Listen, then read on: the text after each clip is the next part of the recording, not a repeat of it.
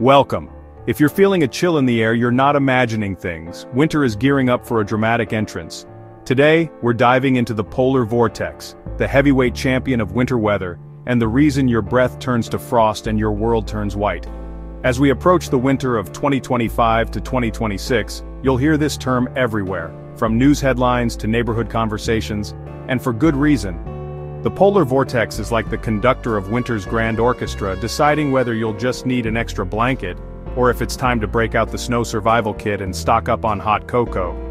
Right now, meteorologists are already spotting early signs that this winter could be especially intense, with colder temperatures and more frequent storms than usual. The polar vortex, a swirling mass of frigid air high above the North Pole, is starting to stir and stretch its icy fingers southward. When it does, it can unleash powerful blasts of Arctic air, dropping temperatures so low that even a steaming cup of coffee can freeze in minutes, and sidewalks become skating rinks overnight. But the polar vortex doesn't act alone. Other atmospheric players like La Niña and the quasi-biennial oscillation are tuning up, each adding their own twist to the winter weather story. When these forces align, they can create a symphony of severe winter weather, bringing blizzards, ice storms and record-breaking cold to cities and towns across the globe. In this chapter, we'll break down what the polar vortex really is, why it's making headlines this year, and what it could mean for your winter plans, whether you're traveling, working or just trying to stay warm at home.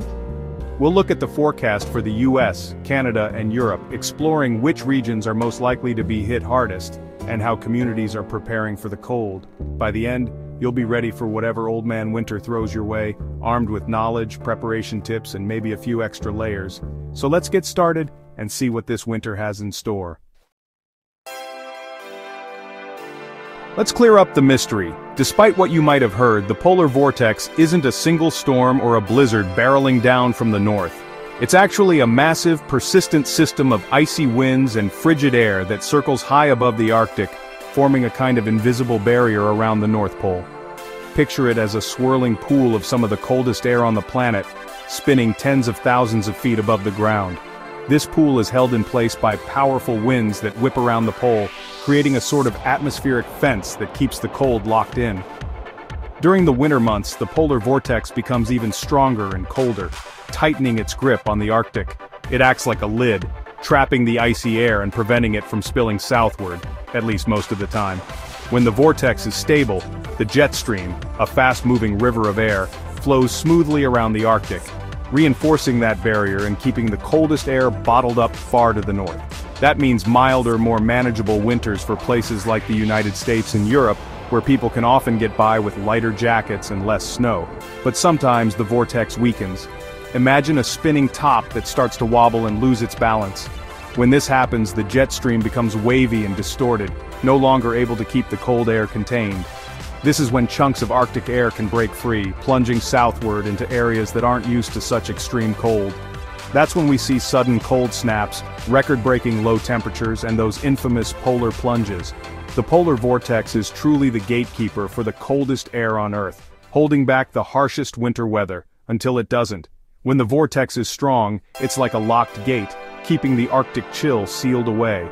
But when it weakens, that gate swings wide open, and the cold rushes out. That's why meteorologists and weather experts keep such a close eye on the polar vortex every winter. Its behavior can mean the difference between a gentle winter and a season of deep freezes. The stability of the polar vortex is often the single biggest factor in determining whether your winter will be mild and manageable or bitterly cold and challenging. In a way you can think of the polar vortex as winter's master switch, controlling the flow of cold air and shaping the season for millions of people. That's why understanding how the polar vortex behaves is so important for predicting what kind of winter lies ahead, and for preparing for whatever the season might bring. So, the next time you hear the term polar vortex, remember, it's not just a buzzword, it's the ultimate winter gatekeeper, deciding whether the cold stays locked away or comes knocking at your door. When the polar vortex weakens, winter gets serious. The vortex can split into smaller pieces, sending blobs of Arctic air far from home. This disrupts the jet stream, making it wavy and causing deep cold troughs and warm ridges. Frigid air pours south, leading to prolonged cold snaps and heavy snow. The result? Blizzards, power outages, and travel chaos. The clash of Arctic and moist southern air fuels explosive winter storms especially nor'easters. When you hear about a weak polar vortex, it's time to pay attention. Arctic outbreaks become much more likely. For winter 2025 to 2026, models suggest several of these events, setting the stage for a dynamic, severe season. The freezer door could be wide open for weeks. Stay alert, this winter could be one for the record books. Enter the sudden stratospheric warming or SSW, the wild card of winter. This phenomenon can dramatically alter the course of the season, bringing unexpected and extreme weather conditions. An SSW is a rapid warming high in the stratosphere, where the polar vortex lives. This warming can disrupt the usual patterns and create a cascade of weather changes. Temperatures can soar by 50 degrees Celsius in days, shattering the vortex and sending Arctic air spilling south. This sudden shift can lead to dramatic weather changes across the globe. The effects aren't instant, it takes a week or two for the chaos to reach us. During this time the atmosphere adjusts and the weather patterns begin to shift. But when it does, the impacts can last for the rest of winter, locking in cold and snow. This prolonged period of extreme weather can have significant effects on daily life and infrastructure. After an SSW, the risk of extreme cold and snow skyrockets for North America and Europe, these regions can experience some of the most severe winter weather conditions. The jet stream becomes stuck, delivering wave after wave of Arctic air. This persistent pattern can lead to extended periods of cold and snow. Forecast models hint at a higher risk of SSW this winter, especially in late December or January. Meteorologists are closely monitoring the situation to provide accurate forecasts. If it happens, expect a dramatic shift to colder, snowier weather. This sudden change can catch many off guard, leading to challenging conditions. An SSW can turn an ordinary winter into a historic one. The scale and intensity of the weather events can be unprecedented. We'll be watching the stratosphere closely for any signs of this dramatic event. Stay tuned for updates as we track this potential game changer for winter weather. What does all this mean for the US? Expect a volatile, stormy winter, especially in the east. December brings early cold to the upper Midwest and Great Lakes with lake-effect snow and a chill in the northeast. The Pacific Northwest will be cool and wet, while the south starts milder and drier. January is the main event. If the polar vortex weakens or an SSW hits, Arctic cold could grip the central and eastern U.S. for weeks. This favors major nor'easters and blizzards from D.C. to Boston, and bitter cold in the plains. February stays active, with cold possibly shifting back to the Midwest and Northeast. There's even a risk of deep freezes reaching Texas and the Gulf Coast. The West Coast remains more stable, with cool, wet conditions in the north and drier weather in the south. Buckle up, it's going to be a dramatic winter. Canada, brace yourself, this winter looks especially harsh. Central and eastern provinces will see brutal cold and heavy snow, with cities like Toronto and Montreal facing a classic Canadian winter, amplified. British Columbia gets steady storms and mountain snow, great for ski resorts. The prairies will ride a roller coaster of wild temperature swings. In Europe, a weakened polar vortex and negative North Atlantic oscillation could bring cold, snowy weather to the UK, Scandinavia, and Northern Europe. Major snowstorms and prolonged cold snaps are likely in these regions. Southern Europe meanwhile will be milder and wetter, with more storms but above normal temperatures. The jet stream's southern track pulls in moisture and warmth for the Mediterranean. So, while London shivers, Rome may see rain and mild winds.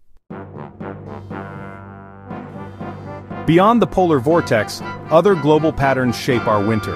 A weak to moderate La Nina is forecast, cooling Pacific waters and shifting the jet stream. This brings cooler, wetter weather to the Pacific Northwest and Upper Midwest, and warmer, drier conditions to the south. La Nina also boosts the odds of Arctic air plunging south, especially with a weak vortex. The quasi-biennial oscillation, or QBO, is another key player. This stratospheric wind pattern flips every two years and can destabilize the polar vortex. This winter the QBO will be in its easterly phase making the vortex more likely to wobble and break down. It also raises the risk of a sudden stratospheric warming event. Together La Nina and the QBO point to a colder, more chaotic winter. Two more puzzle pieces, the Arctic Oscillation AO and North Atlantic Oscillation NAO. The AO measures pressure differences between the Arctic and mid-latitudes, reflecting the polar vortex's strength. A positive AO means a strong vortex and mild winters.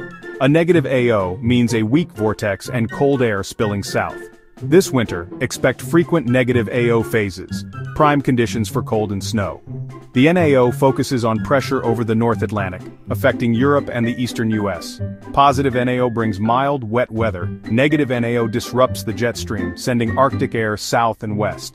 This winter, a negative NAO is favored, increasing the risk of cold, snowy conditions. The AO and NAO often move together, amplifying winter's extremes. When both are negative, expect a classic blockbuster winter. These oscillations are key to week-to-week -week weather swings. Watch for their shifts, they're the signals for winter's wildest turns. All signs point to a potentially historic winter, so preparation is key. Now's the time to check your home's insulation and heating, and get your winter gear ready. Build emergency kits for home and car blankets, flashlights, batteries, food and water. Remember, long-range forecasts show patterns not daily details. Stay updated with local forecasts. Pay attention to storm watches and warnings, and follow local safety advice. Winter is to be respected, not feared. Understanding these forces helps you prepare. Stock up on essentials, get your snow shovels ready, and enjoy the season's excitement. We'll keep you informed every step of the way. Stay warm, stay safe, and get ready for a dynamic, chilly winter. That's your winter weather outlook.